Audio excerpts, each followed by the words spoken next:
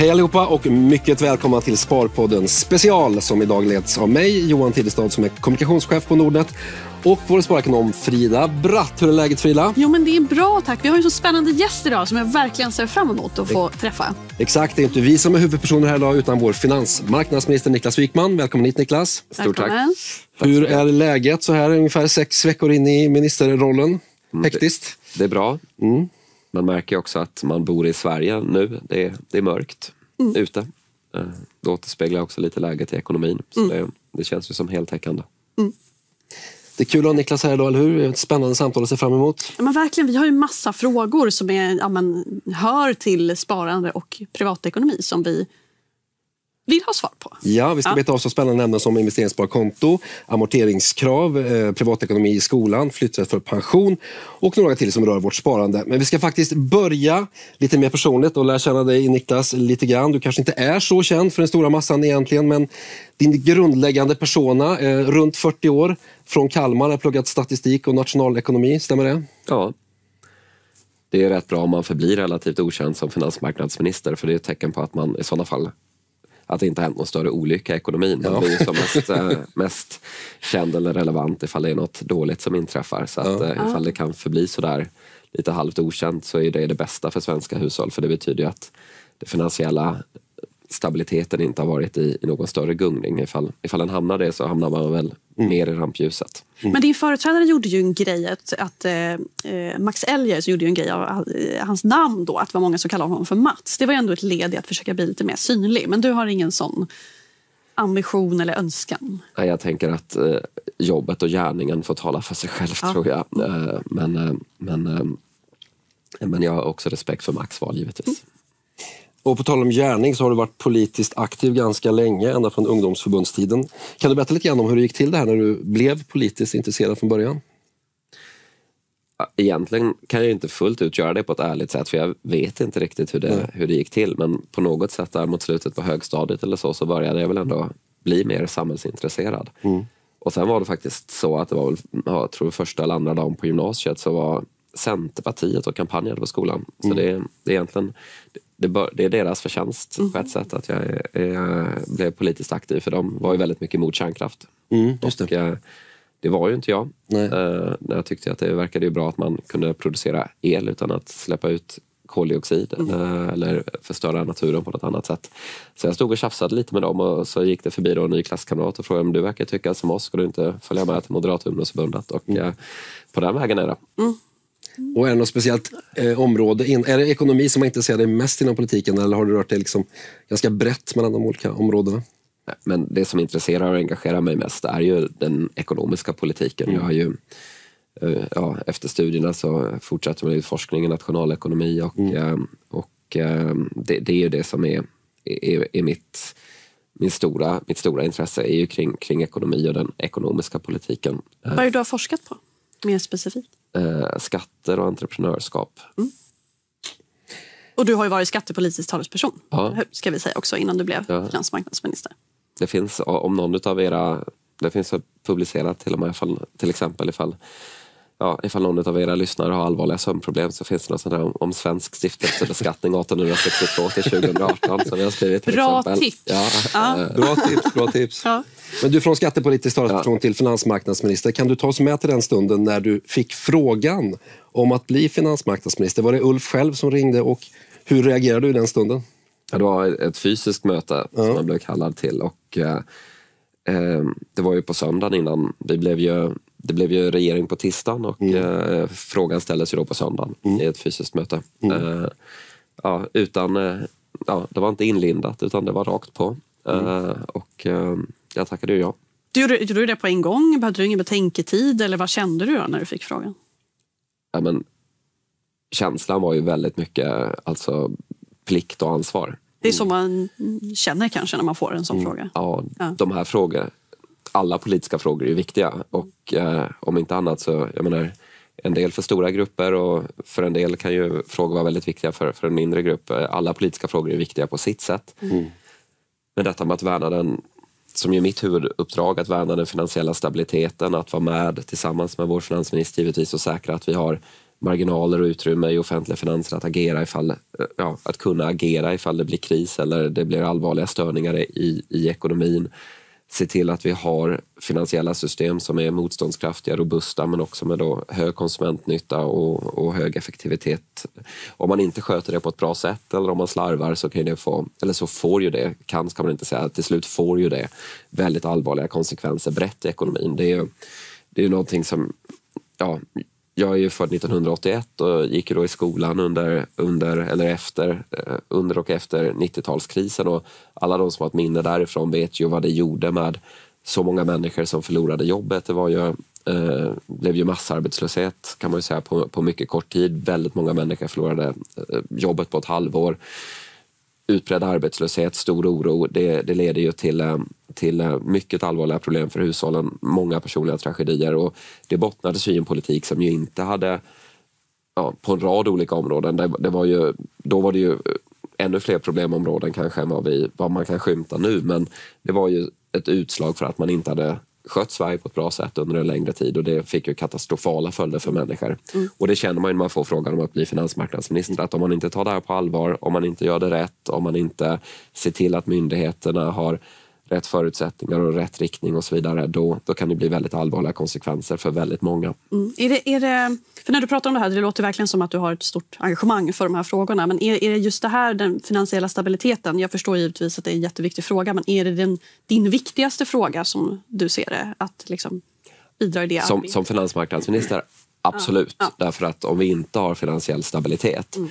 då har vi en lång rad andra typer av problem. Mm finansiella stabiliteten är viktig för att hushållen ska kunna fatta bra beslut, känna sig trygga, inte behöva oroa sig över sin bostad och så vidare. Det är också väldigt viktigt för att vi ska kunna på ett hållbart sätt ha tillväxt i Sverige eh, för att företag ska kunna investera, fatta kloka beslut som det här handlar mycket om för att man ska kunna spara på ett tryggt sätt, det ska kunna omsättas till investeringar.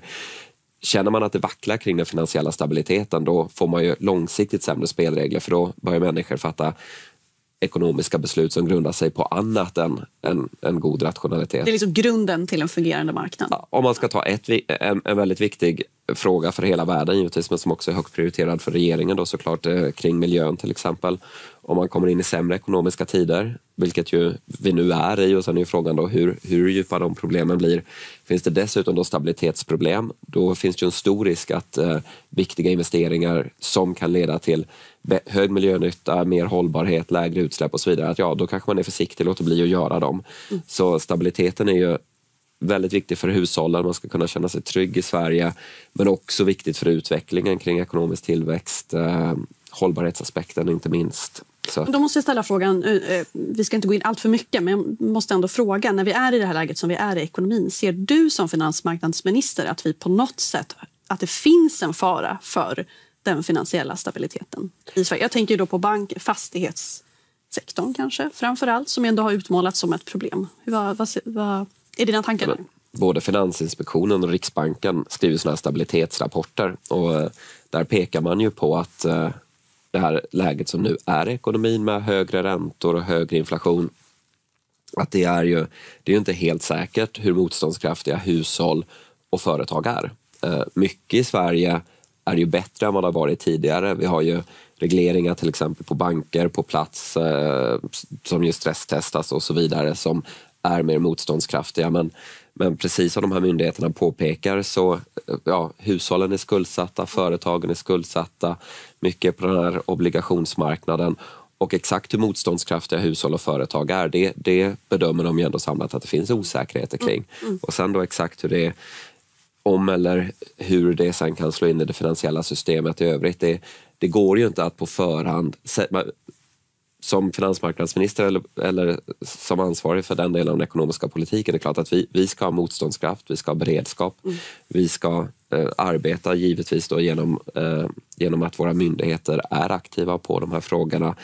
Och sen är det ju, Stefan Ingves beskriver det på det allra enklaste och bästa utav sätt att det är ju en kris själva natur. Att om den upp, det, det går ju inte att förutse. Eh, eh, det är ju själva kärnan i det. Men däremot så kan man ju alltid se till att eh, ha beredskap. Mm för att kunna hantera ett sämre läge. Och det, det, är det. Man får försöka spana så mycket som möjligt efter problem, obalanser, potentiella kriser Men man måste också vara medveten om att det, den kristallkulan ser man inte så klart i alla gånger och därför måste man ha marginaler i offentliga finanser och ibland vara ha lite tråkiga besked kring, eh, kring de som ja, vill ta för mycket risker eller tjäna pengar på pengar och, och så vidare. Utan, utan att eh, ja, man får luta sig lite mot det helt enkelt så att det finns beredskap. Mm. Ja. Ett brett och viktigt område förstås, finansmarknad. Och en, en, liten del av det är ju våran del av världens sparande och investeringar.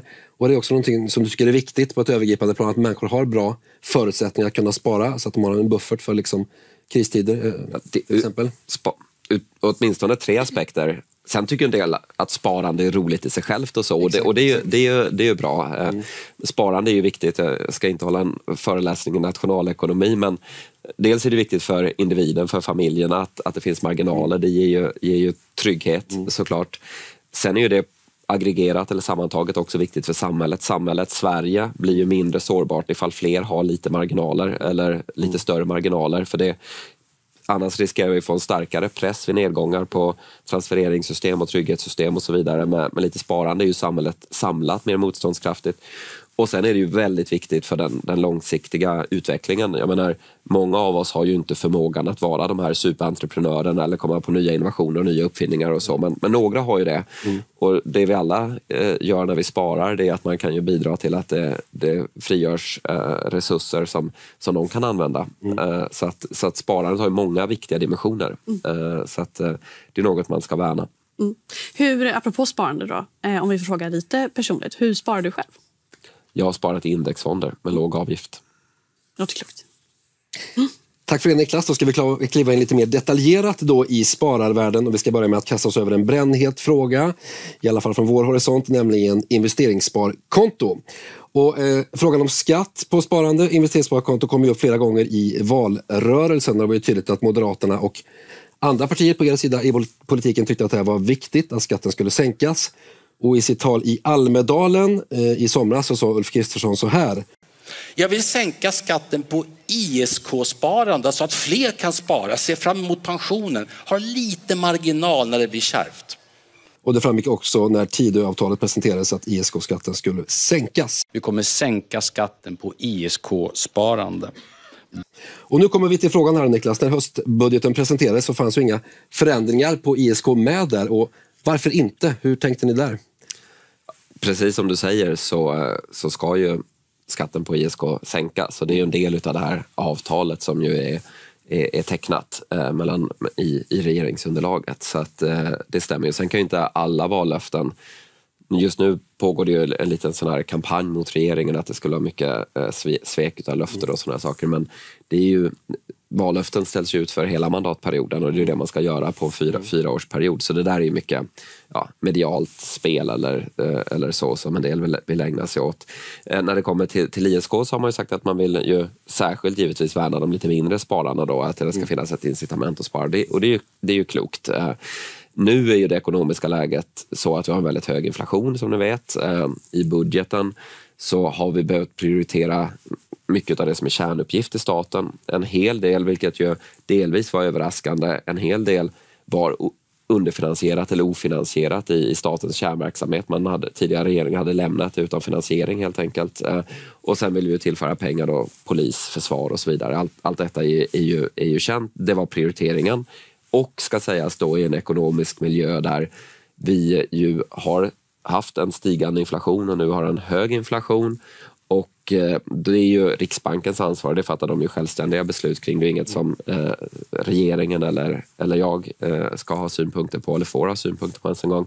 Däremot så var vi väldigt tydliga med att vi inte vill utforma finanspolitiken så att den hamnar i strid med så att säga, eh, de penningpolitiska målen. Eh, och, och det, alltså om ni skulle riskera att spä på inflationen? Ja, mm. det, det var ju ett, faktiskt ett mycket bättre och rakare sätt att säga det på.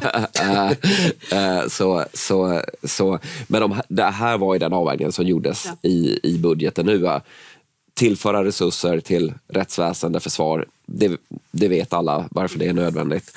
Och det andra, precis som du då uttrycker det, i, i en ekonomisk miljö där man inte vill spä på de här inflation, eller inflationen eller inflationsökningar. Så att de två sakerna, och det ledde ju fram till den budget som vi sen då presenterade. Och det har jag ju noterat att, eh, ja, vad jag kan bedöma så har ju alla kommentatorer eller, eller eh, mer professionella bedömare av den ekonomiska politiken sagt att det där landade relativt välavvägt.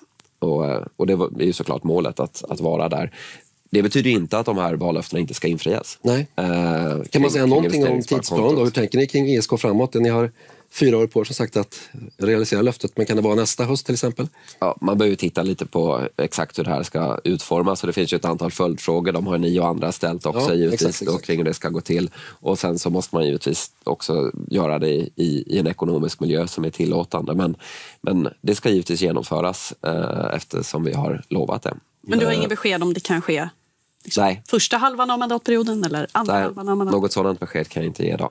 Kan du förstå ändå, för jag tänker att eh, jag, tror att de flesta är med på att det som ni lovade var under, det ska införas under mandatperioden, men att man ändå mot bakgrund av hur retoriken lät i valrörelsen så var ju Moderaterna och, och Liberalerna och Sverigedemokraterna framförallt eh, var ju väldigt måna om att vara spararnas vän. Mot bakgrund av det kan du ändå se att det Eh, uppfattade, alltså många blev lite besvikna helt enkelt när det inte kom nu, den här skattesänkningen. Också ett år när många har gjort förlust då, i sitt sparande och, och skatten höjs med anledning av den stigande statsskuldsräntan nästa år. Men kan du se att eh, den besvikelsen, kan du förstå den? Absolut, självklart. Eh, dels är vi väl lite så till mans att man tenderar att höra det det positiva och inte det negativa. Och det, är, det är en anledning till att politiken är där med regleringar i allt från reklam och marknadsföring till eh, fondinformation och annat. så att säga. Därför att vi, eh, det, det är lätt att höra det, det, de positiva beskeden och, och inte, så att säga, eh, in,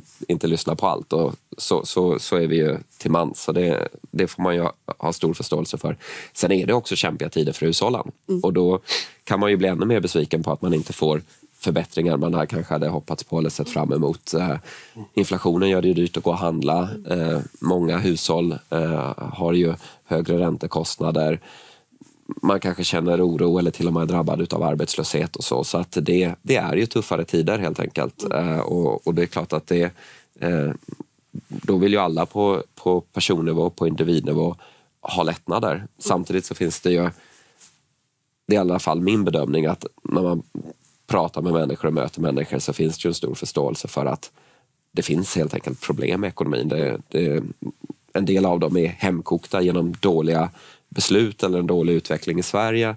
En del är givetvis orsakat av den mycket eh, tragiska utvecklingen vi har i vår omvärld. Så att det, det, finns givetvis en, det finns ju en förståelse för det och mm. jag, jag, tror inte att människor går, går inte igång så mycket på det här väldigt höga tonläget som en del debattörer vill ha för att det finns en insikt kring att det är, det är helt enkelt utmanande och prövande tider och det går helt det går helt enkelt inte helt att eh, skydda hushållen från det.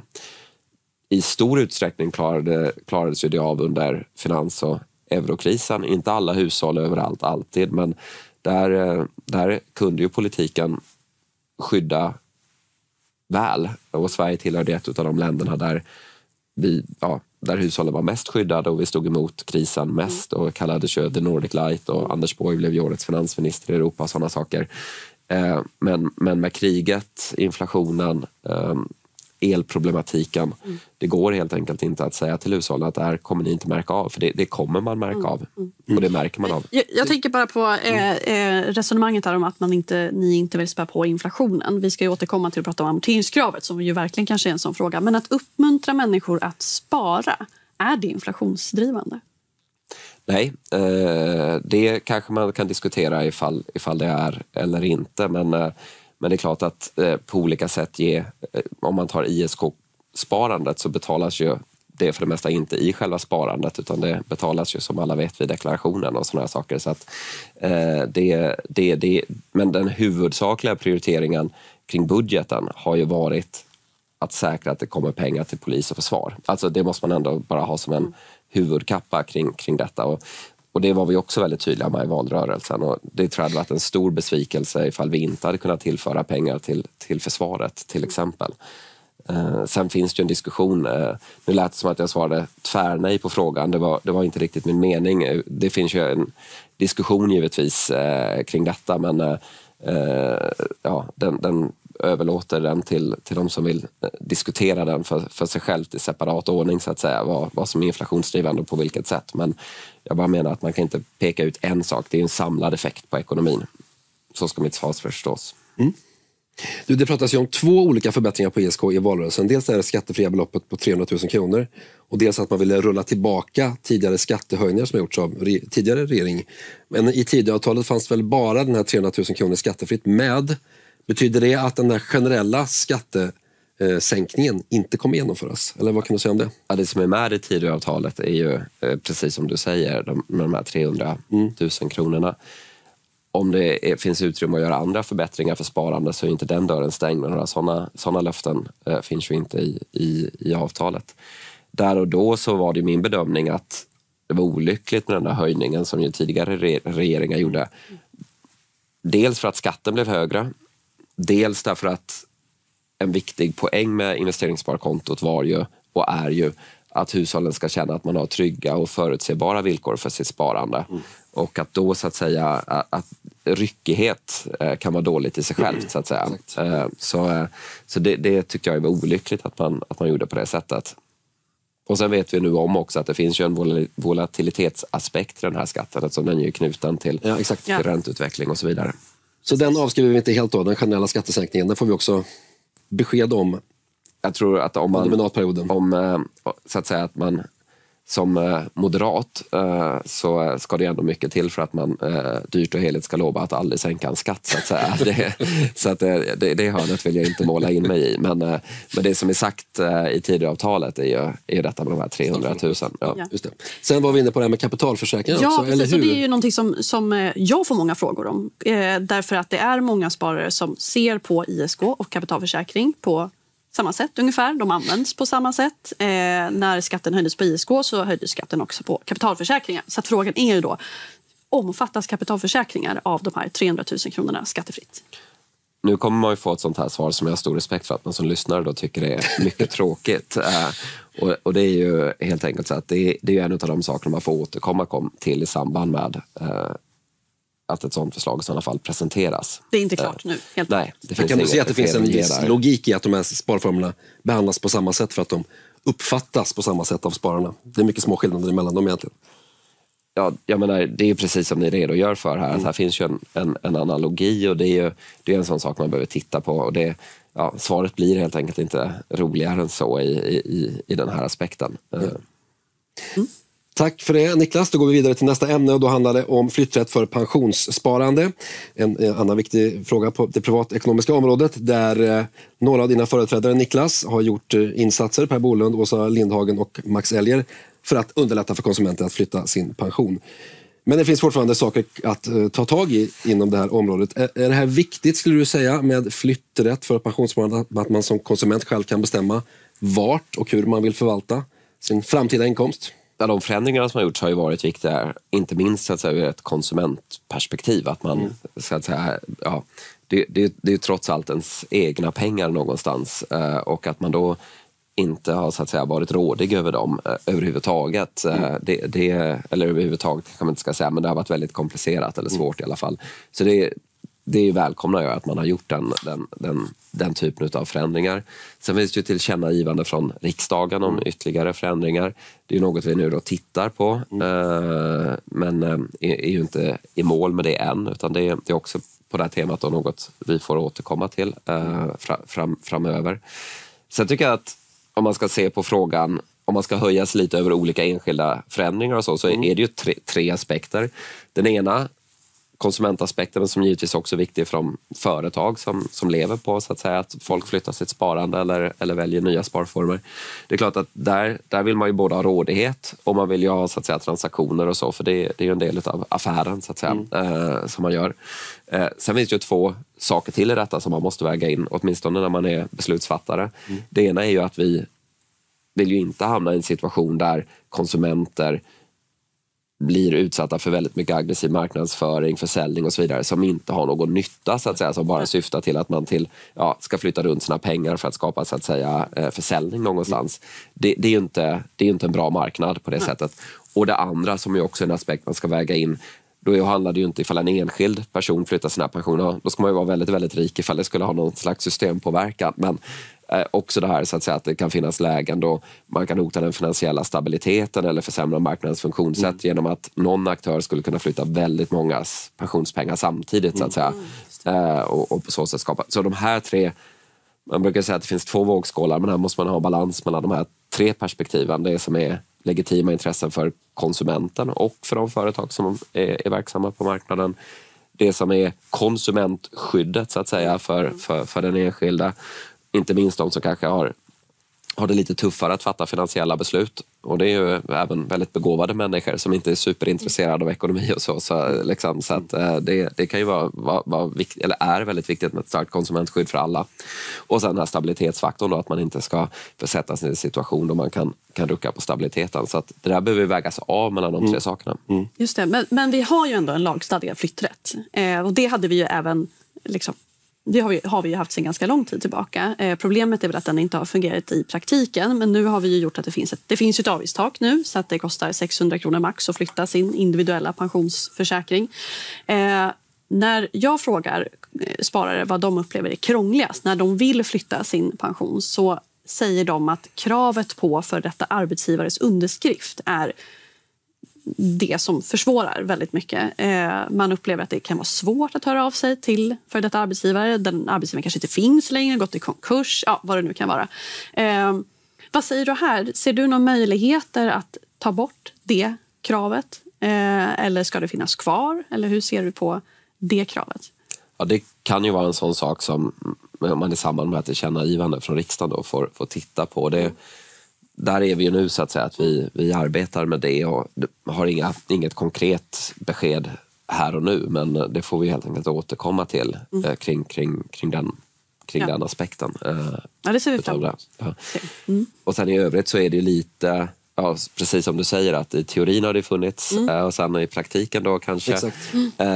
eller i någon mån eller i viss utsträckning eller kanske fullt ut. Och det, det är lite tidigt att säga än för det är ju mer nytt så att säga. Mm. Så, och det, det, får man ju följa också lite över, över lite längre tid mm. Eh, och utvärdera. Men det är som ni säger, alltså praktiken kan ju ställa upp hinder med krångliga blanketter och bekräftelser och långa handläggningstider och så vidare. Så att, hur lång tid är det egentligen rimligt att den flytt ska ta. Det är också ett medskick till dig då, Niklas. Du kanske inte har något svar på det heller. Men liksom, inte, vi har ju tidigare drivit två månader. Känns inte det ganska lagom att det max ska ta för ett pensionsbolag att flytta ett sparande efter uppdrag från pensionsspararen?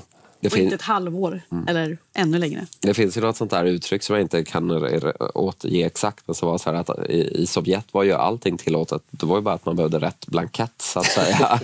uh, och, och det, det om man tittar tillbaka så kan man ju säga att det har funnits väldigt mycket då kanske praktiska hinder och sen att det har blivit bättre för tidigt att dra några definitiva slutsatser om detta och sen så att det finns ytterligare tillkännagivande som ju det ligger på mig att jobba på då helt mm. enkelt. Så, så äh, det, det är en högst relevant fråga mm. äh, och, och, och därmed så så ska du också få ett seriöst och genomarbetat svar. När, eh, när, när i tid tror du det ligger? Ja, vi tittar ju på detta nu så att mm. eh, tänk, tänker inte sätta någon deadline för det arbetet här utan när vi, när vi är klara så återkommer vi. Spännande. Mycket spännande. Eh, vi håller oss kvar inom pension och ska prata privat pensionssparande. Eh, Frida, vilken kontext ska vi sätta den här frågan i? Eh, privat pensionssparande och IPS. Det har inte direkt mm. förbättrats de senaste åren. Hur ja, men det är ju så att eh, avdragsrätten eh, för privat pensionssparande togs bort. Vi hänvisades till ISK. ISK en bra sparform. Mm. Eh, men vi gjorde faktiskt en undersökning, det här var inte så länge, något år sedan kanske, där vi frågade eh, har du någon gång eh, nallat av ditt långsiktiga sparande för privat konsumtion. Och I den undersökningen, mm. en YouGov-undersökning, då var det hälften som svarade att de hade gjort det. Och Det fick oss ändå att tänka att ja, saknar vi inte en sparform här som, har, som är dedikerad till pensionssparande, så där man får en morot för att spara långsiktigt. Och det gjorde att vi då eh, föreslog faktiskt en eh, pensionssparform som vi kallade för pensionssparkonto, PSK, där man då skulle få lägre skatt om man sparar långsiktigt. Eh, vad tänker du när du hör om det? Alltså då tänker vi oss att man kanske får betala 15 ehm, eh, skatt på schablonintäkten istället för dagens 30 procent på en kapitalförsäkring exempelvis. Ser du ja, dels behovet och vad tänker du när du hör om förslaget?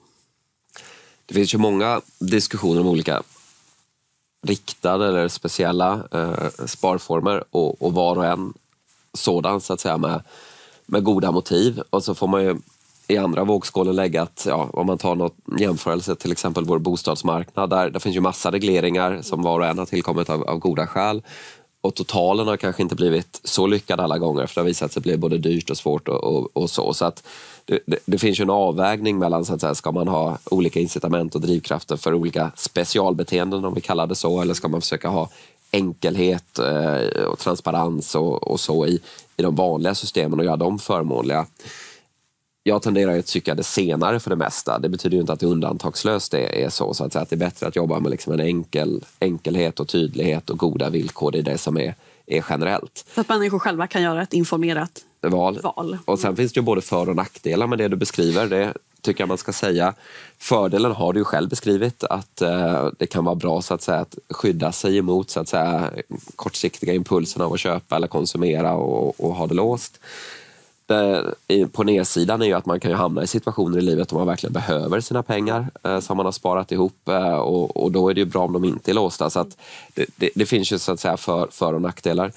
Den här avdragsrätten förut eh, menade ju många var eh, normerande på så sätt att man kanske sparade de här pengarna som man fick dra av då. Men många på, pekade också att det gynnade ju faktiskt rent krasst ekonomiskt gynnade ju bara en, eh, den gruppen som hade de högsta inkomsterna ja. för att eh, för att det, det, blev kanske inte en så bra affär för dem, de, som, de som inte betalar den högsta skatten att göra sådär ändå. Så att, ja, jag, jag vill, vill, vill, samma sak säga där, att inte så att säga stänga någon dörr definitivt till olika typer av lättnader eller, eller incitament för människor att, att spara och, och fatta kloka beslut.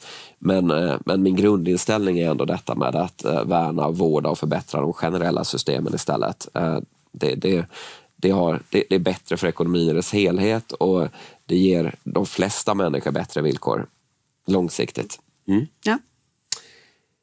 Okej, över till nästa fråga och nu kommer det hetta till rejält här tror vi. För nu ska vi prata amorteringskrav. En av de mer profilerade frågorna i valrörelsen var just amorteringskravet. Kan du förklara det här Frida? Vad är mm. egentligen amorteringskravet? Ja, amorteringskravet är ju de regler som säger att man ska amortera eh, 2% av eh, sin skuld varje år om man har en belåningsgrad över 70 eh, Har man en belåningsgrad mellan 50 och 70% då ska man amortera 1% av sin skuld per år. Och sen så finns det ju ett eh, förstärkt amorteringskrav som infördes 2018 och det säger att man ska amortera en procentenhet mer än det om man då har en skuldkvot. Skuldkvot är då om man har en eh, eh skuld som överstiger 4,5 gånger den årliga inkomsten. Då ska man amortera en procentenhet mer än vad det ursprungligen Så totalt 3 procent av sitt bolån? Om man har belåningsgrad över 70 procent och en skuldkvot över 4,5. Ja, det är viktigt med siffrorna här, vi måste få det rätt. Eh, sant, sant, sant. Och eh, Niklas, KD, Sverigedemokraterna och Liberalerna sa i valrörelsen att de ville avskaffa det skärpta amorteringskravet. Och Moderaterna, ditt parti, eh, ni ville helt enkelt pausa amorteringskravet så man kan tolka det hela amorteringskravet i alla fall i sex månader. Nu har vi inte hört så mycket om det här på ett tag så frågan är ganska enkel. Hur tänker ni nu kring amorteringskravet? Vi pratade förut om, om budgeten och då pratade vi om detta med eh, inflationen. Mm. Och det är klart att det måste vara en styr åra för politiken att, eh, att inte elda på inflationen eller att inte ställa sig i vägen för möjligheten för Riksbanken att utföra sitt uppdrag så att mm. säga, kring, eh, kring prisstabiliteten. Det är klart att det har varit viktigt för oss när vi har formulerat politiken. Sen har vi ju pratat om detta med amorteringskravet och det är ju ur den svenska modellen eller så som vi normalt sett fattar beslut lite av en udda figur eftersom ju Finansinspektionen har sitt uppdrag och sen ska det ju då godkännas av regeringen. Den här frågan ägs ju därför av Finansinspektionen så som reglerna är, är, är, är utställda. Jag har ju eh, enligt det uppdrag vi har haft så vi har haft möte med Finansinspektionen där de har redogjort för sin syn på den här ventilen som finns. Det var det vi pratade om, eller möjlighet mm. eller paus eller, och, mm. och sådana saker. Hur de ser på, på det. Eh, och haft möjlighet att ställa frågor till dem. Och efter ett första eh, möte där jag haft de här möjligheterna att ställa frågor och så. Och eh, vi kommer ju fortsätta det. Eh, de är men... väl inte så positiva? Va? Alltså, Riksbanken och Finansinspektionen är väl ganska negativa nu till att införa ett amorteringskrav? Ja, det får man ju säga att det har ju varit väldigt eh, skarpa mm. Eh, ja, omdömen eh, kring, kring detta. och ja, som jag redan har sagt, så att säga, med inflationen, Mm. höga inflationen och så, så eh, har vi ju heller inte kommit med något eh, konkret förslag. Men så att säga att de här, eh, vi, vi har haft möten, vi kommer fortsätta nu eh, med det. Eh, och eh, där, där finns det egentligen inget annat besked än det just, just nu. Sen kan man ju då se att Sen görs ju nu de här stora stöden till hushållen. De är ändå re- rekordstora. Förvisso då också ska sägas i ett mycket pressat och dyrt läge detta med, med elen. Eh, Det, det är den prioriterade frågan då, om man tänker liksom, eh, resurser till hushållen. Eller hur ska man tolka Ja, det är ju det vi har arbetat med och som ju ska genomföras. Så att det, är- ja, jag vet, man ska alltid vara aktsam och sätta ord på olika saker men, men eh, det, det visar väl... Det, det är klart att det har ju varit den stora kostnadschocken för, för, för hushåll. Eh, Finansinspektionen är väldigt tydliga med att understryka att det kan ju inträffa oförutsägbara saker i ekonomin. Men de har ju också skrivit det att ett högre ränteläge är något som de anser att hushållen ska förutse när man tar lån, att räntor kan, kan Och bankerna har ju testat det också i sin kreditprövning, tänker jag också. Eftersom vi har en, haft en högre kalkylränta. Ja, de har ju kvar att leva på kalkyler Ja, och så vidare. precis. Så, att, eh, så där, det där är väl interiörerna kring, Mm, det, kring, det, kring det just nu. Tänker, det, var ju, ja, eh, det var ju ganska eh, nära in på valet så pratade ni om att amorteringskravet skulle införas och redan då var inflationen hög. Så hur ska man se på det här eh, löftet eller, ja, som ni ställde ut? Ska, gäller det också under mandatperioden eller hur kan det komma sig att ni pratade om det så nära in på valet och nu avskriver det med hänsyn till hög inflation? När, när det kommer till inflation så är ju det ett riktigt gift i, i ekonomin. Det vet vi av historiska erfarenheter vad det gör med allt från hushållens möjlighet att spara, konsumera, företag och, och möjligheten för dem att investera och så vidare. Det, det, det vet vi om och n- nu ser vi att inflationen är, är hög och att den är kvar på höga nivåer och det måste man givetvis förhålla sig till. Och, eh, jag sa ju att jag, ja, man ska inte bara säga att det är en mediediskussion och sådana saker, för, eh, så, men det, min bedömning är att det finns en stor förståelse och stor uppslutning i Sverige kring så att säga att, eh, eh att här måste man få ordning på grundfunktionerna och, och sen får man liksom diskutera vidare utifrån det. Elen har ju varit, ja, vi använder ordet prioriterad här då, eh, så, men eh, därför att det har ju varit en, och är ju en väldigt stor kostnadschock för, för, för hushållen och där behöver man ju inte ta några omvägar så att säga, utan där kan man gå direkt på kostnaden helt enkelt. Så att det, det är så avvägningen har sett ut och ser ut från regeringens sida. Och sen då så, så eh, har vi haft ett första möte med Finansinspektionen och haft möjlighet att ställa frågor och där de har berättat mer hur den här ventilen och så fungerar. Och eh, det, det är läget. ja. Du möter ju mycket sparare och även bolånetagare. Vad tror du liksom förväntningen eller bilden är nu hos dem av Nej, men jag, jag upplever faktiskt att det finns en viss förvirring kring amorteringskravet just nu. Eh, och Det tror jag kanske har att göra med att Finansinspektionen gick ut och pratade om den här ventilen. Eh, jag upplever att det fanns vissa bolånetagare som uppfattade det som att ja, amorteringskravet är i princip pausat. Det är bara att ringa banken så får man amorteringsfrihet. Alltså det finns verkligen olika uppfattningar om statusen på amorteringskravet, hör jag. Eh, så jag tror ju i alla fall att det vore positivt med något slags besked. När kan vi vänta oss något slags besked då till bolånetagarna? Ja, här är det ju väldigt viktigt så att säga och det är ju så den svenska styrmodellen fungerar att den här frågan äger ju Finansinspektionen. Men ni kan ju göra, om ni vill förändra någonting från politikens sida, så kan ni göra det. Ja, då skulle man ju behöva så att säga, ändra på hela uppdraget och sådana saker.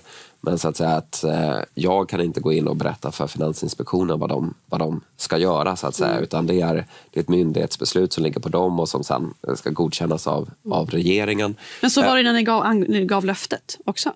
Ja, och därför behöver man i sådana fall ändra så att säga spelreglerna skulle ju behöva göras i sådana fall. Och därför, därför och sen har det också skett förtydligande från myndigheterna. Eh, och absolut, som jag redan har sagt, så är ju det här en konstruktion som inte är, är helt vanlig på alla andra områden i, i, i Sverige. Utan eh, jag, jag förstår att det skapar en, ett visst mått av, eh, eh, ibland kanske ja, jag vet inte ifall frustration är rätt ord, men att det kan skapa lite förvirring för att det, blir det blir ju inte riktigt samma tydliga eh, beslutsgång som det är i andra. Jag menar, det är ju, då bestämmer ju re- regeringen något och så röstas de i riksdagen och sen är det så. Här är det ett beslut som ligger ute på, på myndigheten.